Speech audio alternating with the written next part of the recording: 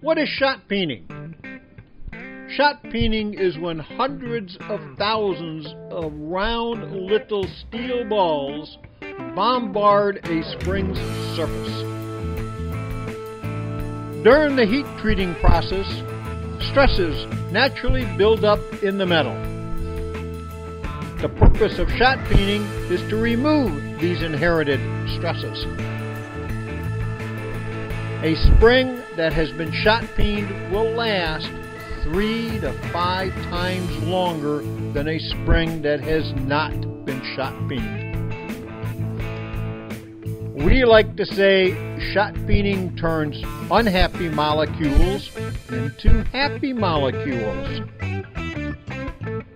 100% of the springs, both leaf and coil, from Eaton Detroit Spring are shot peened.